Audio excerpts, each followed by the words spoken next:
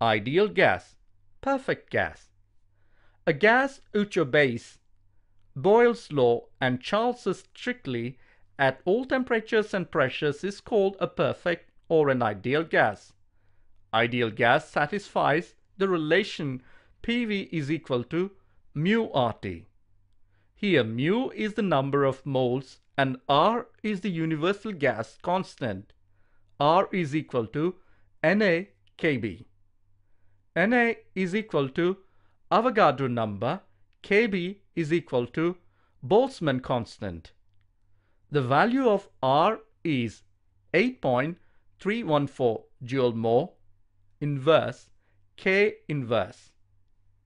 Mu is equal to m by m naught is equal to n by Na.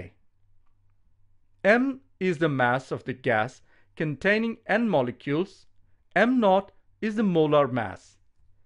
n is the number of molecules, Na is the Avogadro number.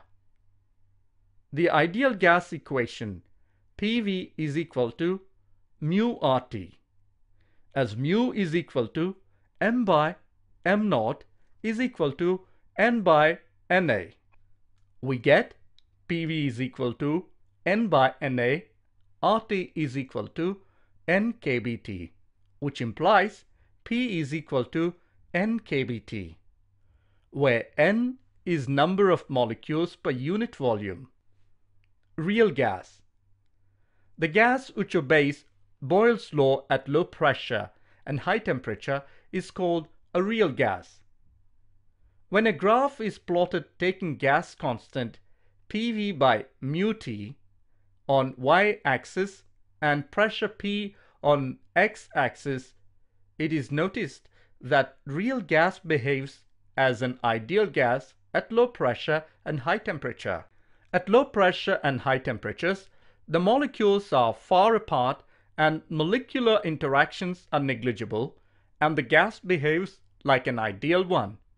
But ideal gas doesn't exist in practice. Boyle's law. We have ideal gas equation PV is equal to mu RT. Temperature T being maintained constant, we get PV is equal to constant.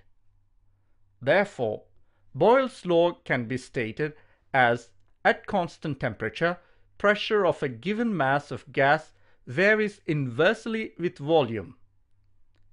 A graph plotted across pressure P on y-axis and volume V on x-axis shows the comparison between experimental and the theoretical PV curves.